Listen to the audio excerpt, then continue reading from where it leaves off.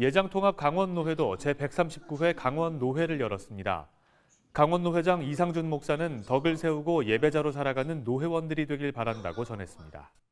그런즉 너희가 먹되면 뭘 하든지 다 하나님 영광을 위해서 하라 하고 말씀. 덕을 세우는 말을 하십시오. 덕을 세우는 삶을 사십시오. 그래서 하나님 영광 돌린 예배자로 살아가는 귀한 노예원들이 다 되시기를 주님의 이름으로 간절히 축원드립니다.